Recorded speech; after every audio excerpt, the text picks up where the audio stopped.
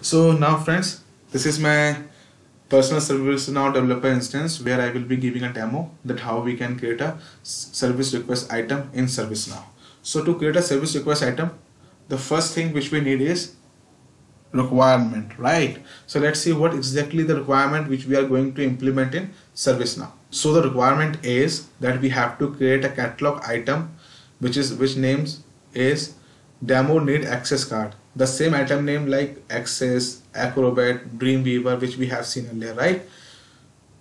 And what all fields that particular item must have requested for joining date department employee details and the type of fields requested for is reference field joining date should be a date field department should be a select box and employee details should be a multi-line text box. Okay so we have to implement all these four fields in a single request items a kind of a form we have to create for an end user right?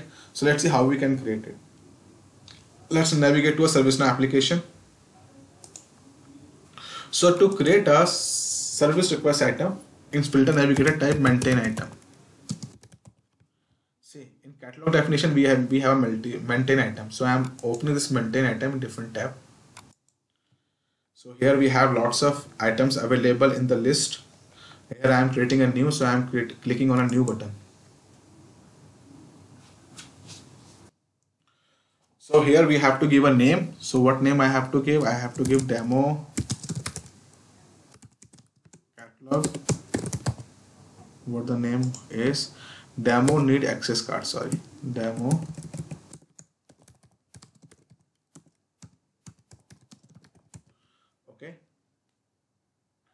here we have active. Yes. Availability for what? Mobile desktop desktop mobile. I'm saying desktop.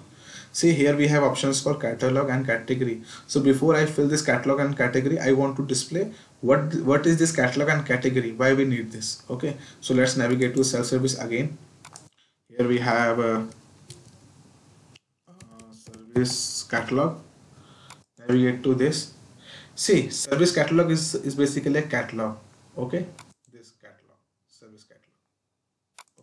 at what catalog we want to show our particular item.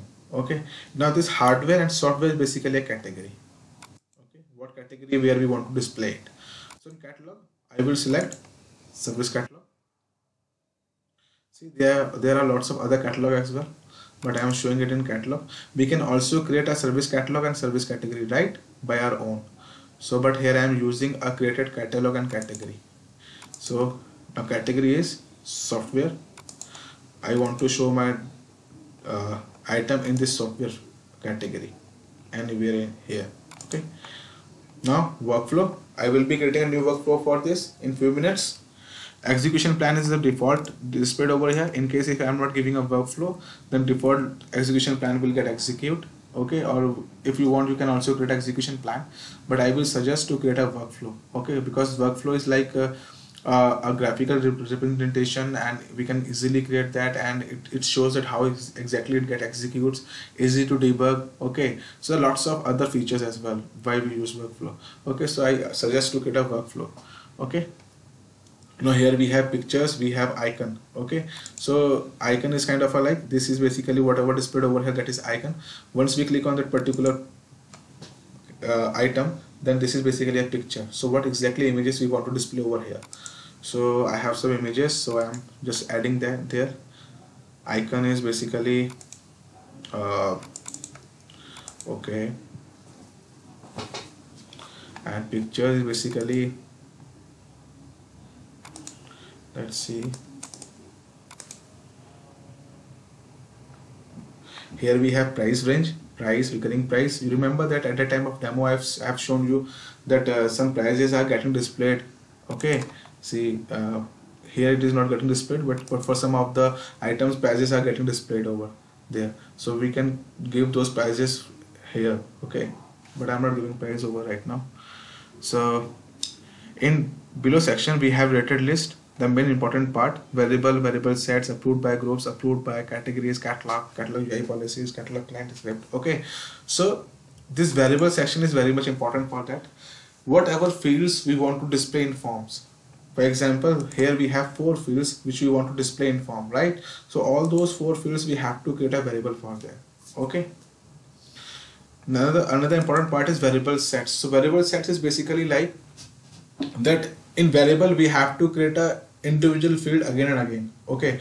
But in variable set what we will do? We will create a variable uh, set where we will create in, in a set where we will create a four to five fields or whatever the requirements we can create n number of fields okay? And when we need a particular set we can use a particular set at any of the request item. For example if i have created any of the set by clicking on new button okay?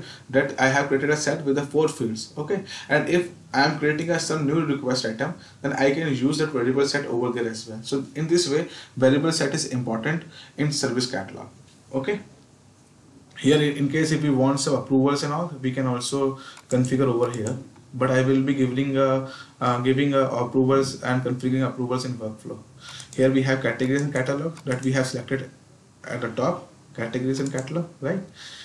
I will be also showing you how we can create a UI policies and client script in uh, uh, service catalog item. Okay, so here I am going to create a variable. Okay, so the first variable is requested for that is a reference field. Okay, in slide we have requested for reference field.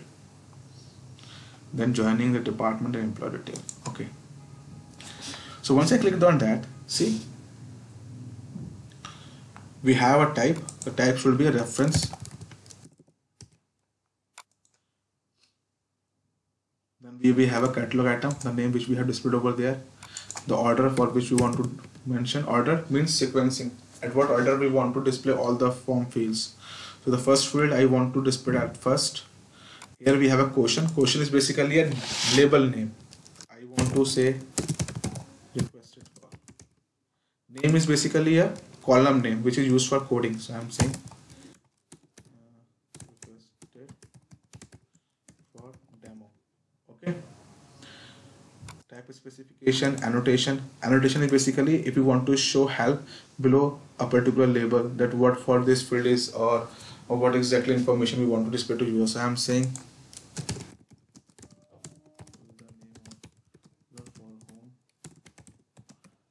access card is required. Okay, type specification means reference table so i'm giving sys underscore user table for the required data. I'm not giving any reference qualifier in case if you want to uh, want some understanding of reference qualifier please refer my other videos which were available in script include section playlist okay so here we have default availability i'm not giving all this stuff click on submit so in this way i have created a one of the field available in a form that is requested for. Now I have to create a rest of the three variables. The another variable is joining date. Okay, that is a date field, right? So here I am giving uh, date field. Okay, and uh, order is 200. Okay, and the field name is joining date this is basically uh, we are creating a form for a user who is a new joinee and who want an access card okay so i'm saying okay annotation no specification now default value availability now okay that's okay so we are done with the second field now.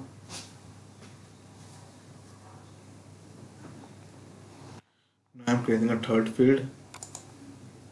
That is department and that is a select box. Okay? Select box is basically a drop down same displayed for a type. Okay?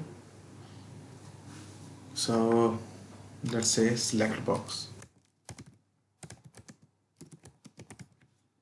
So I have selected a select box over here then question is department.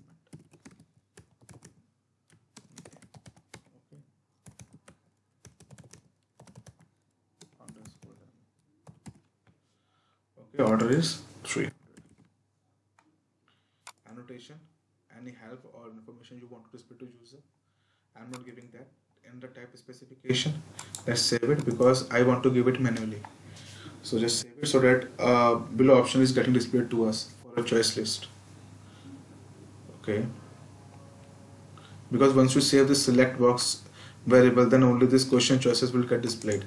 But what all values we want to display so i want to display value like uh, department can be it right value it underscore order is 100 submit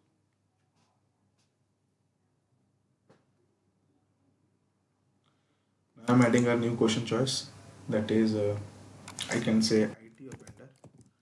It can be any right so what comes in my mind i'm just giving that name only. Vendor underscore demo.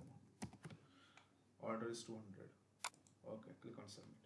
So now we have two choices in a select box. That is it and vendor. I think for demo two choices are enough right? So let's update this variable because i'm not giving a default value or availability. So i'm saying updated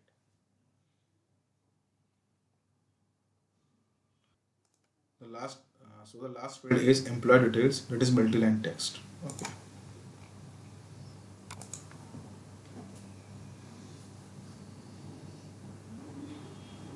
So i'm saying uh, multi-line text multi multi-line text okay question is employee details demo. Okay.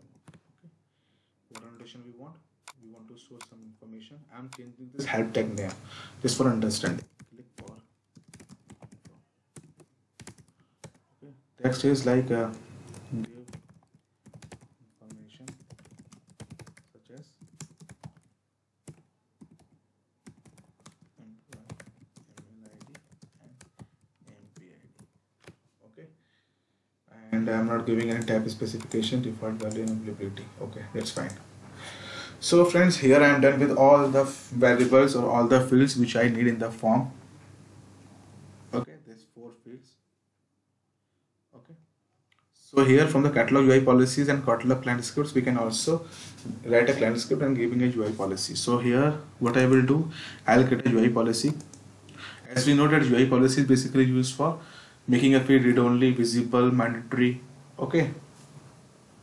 So here we have a form once I click on that short description so I'm saying I'm making this employee detail field mandatory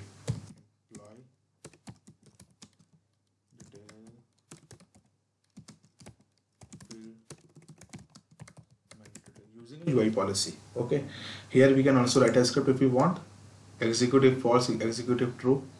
The concept is same which which we were used in in earlier phases right? For other incident and modules and change modules and something right so you can also refer ui policy video available in playlist. I when to apply? Okay that's fine. So save it so that we can get, a ui policy actions. Once i save then see we have a catalog ui policy actions. So let's get an action over here. So see uh, for requested item actually we have a, a separate catalog UI policy and catalog client script because we can have a multiple form request items right of different fields. Okay so that's why request items having a separate client script and separate UI policy options. Okay so what variable we want to make mandatory we want to make employee detail we are saying true. So in this way we can create a UI policy for a catalog. Let's update it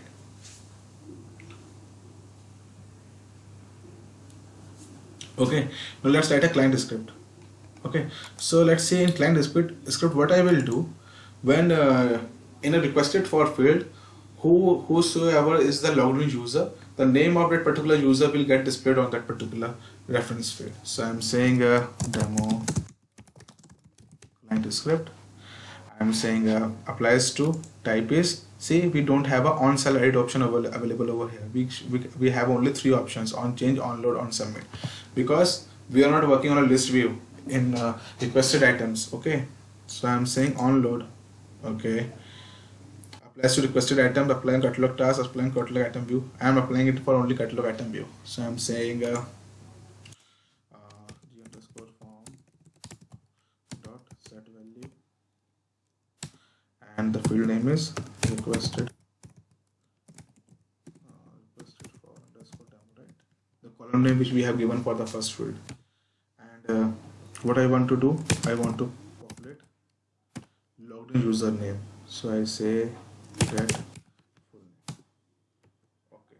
So now here we are done with the script a single line script.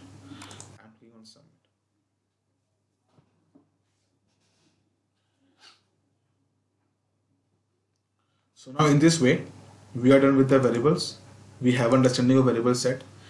We have a catalog UI policies and we have a catalog client script okay so let's see how the particular request look like. Uh, we have not given the workflow we will give uh, in a few minutes. Okay so click on try it. So basically try it basically used to see the particular form.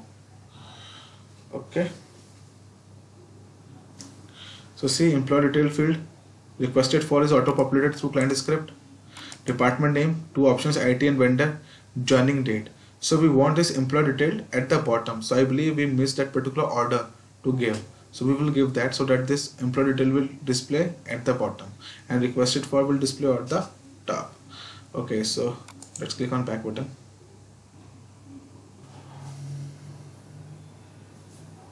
We can also navigate it through maintain item so i'm just giving a maintain item over here uh, maintain items okay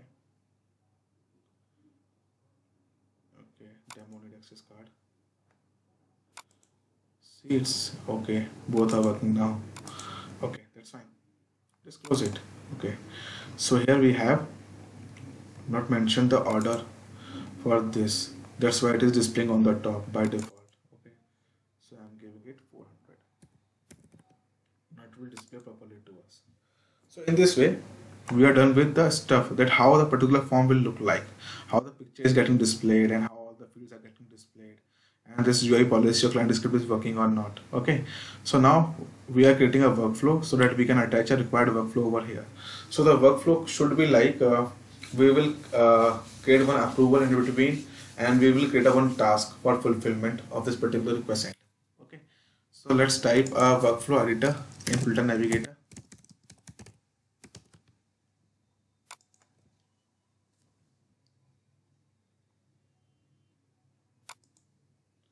so click on new workflow as we have to create a new workflow right? So I'm saying I'm giving a workflow name over here. I'm saying demo requested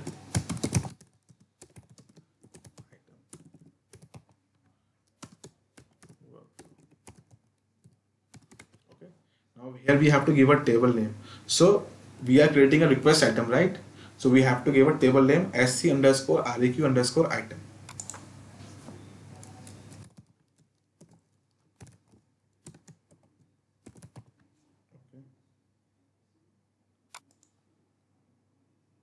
Hmm. I'm not giving description or something. That's fine. Click on submit. Once we click on submit, we have two activities called begin and end. So let's see. Where we have to. It means begin will start once I have submitted the request. Then what will happen? I need approval. So under core activities, we have approval user. So let's configure the approver. So I am configure a individual approval as system administrator just for demo purpose. I am saying that uh, once this request has been submitted, then uh, approval will be given to a access card approval. That is, here we have a stage. Okay, so I have shown you. Uh, just a second. I, I am again showing you where the stage actually works. So here, if I am saying that I'm going to a service catalog, see, and I am requesting any of the item. And let's see, I'm going to software, and I'm access. I'm just ordering it. See, once I order it, it means request has been placed. Then our workflow will work. So the stage will display like this. Okay. So here in workflow, we are configuring a stage so I am saying that it is waiting for approval right now. So I am giving a waiting for approval. Okay, who is the approver? I am saying system administrator is the approver. Okay, it means this particular request has to be approved by system administrator. So I am clicking on submit. okay so let's uh, remove this. Go to this. I'm saying go for approval. So either the approver approved the request or he rejected the request. Okay. So if he approves the request then what will happen? A task will be assigned to a particular team for the fulfillment of that particular access card right? So let's type a task. So here we have a catalog task. Let's drag and drop this particular catalog task i'm saying this access card fulfillment. Uh, access card fulfillment. Okay. Stages. Because it is basically for uh, fulfillment so i'm saying stages fulfillment. Okay. Table is s underscore task. Priority is high. And wait for completion means that workflow will not move forward until the task get closed so here it is assigned to a particular fulfillment group. I am giving a fulfillment group name sr underscore approve underscore group. Here the short description can be like a fulfillment of access card. Basically this will be displayed under task. Okay? This group this short description. Okay. i'm not giving rest of the information. Okay? Let's submit. See now we are done with the task. So if he approves then it goes to for a particular task okay so after the task has been completed then what will happen a requested item will get closed okay so we have to set a value for a request item drag and drop i'm saying that uh, request state will become a close complete. So I'm saying request fulfilled. Okay, the stage is complete. Uh, completed. Okay, and set values. This basically values which are displaying over here. This comes from a request table. SC underscore request underscore item. SC underscore REQ underscore item. Okay, so here I'm saying state is equals to uh, close complete okay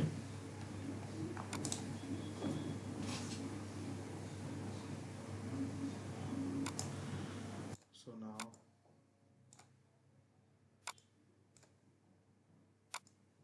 here we have a workflow for a positive node that if approver approves then go it will create a particular task and if the task is got fulfilled then it will set up values and then it will go for add.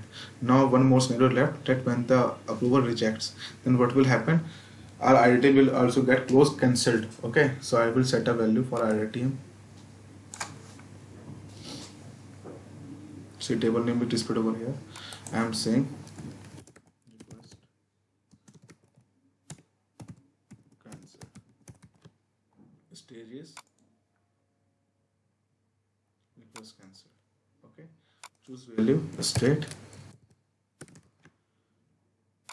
Will display as uh, close submit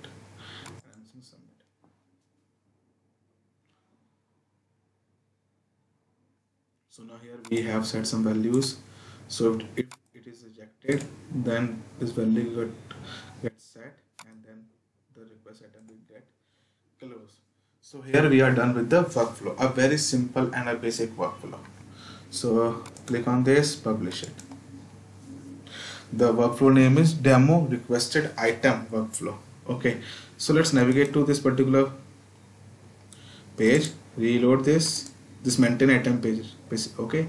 So here in workflow we are going to attach our workflow. Once we attach the workflow see this execution plan will get removed or uh, hide from here. So i'm just going over here workflow. I'm saying uh, uh, demo requested what the name is item workflow okay we have selected this. Execution plan is not removed. The default execution okay? So now we are done with the everything. Catalog policy client script variables workflows images etc and etc so let's give some price if you want. I'm saying uh, one dollar. Okay? Uh, let's update it. Now we are done with the item. We have created the item now treat ourselves as a customer or an end user or any other user who will be creating this request for himself now. So let's move to a fresh section. Let's close all this tab so that we can understand it. So see if I am a user and if I have to request some item then what I will do? I'll go for service inside the service catalog. We have a software category. Here we have an option called see our option. We have created this. Okay? Click on this demo need access card. See? Here we have a price which we have given at the last one dollar. Here we have a system administrator populated by client script. We have a joining date. I'm saying to department name vendor employee details. See this is basically annotation section. The information which we have given in the annotation here we have changed the name of a more information to click for info so here we have the text which we have given give information such as employee id and uh, employee id and email id see so you can see email id is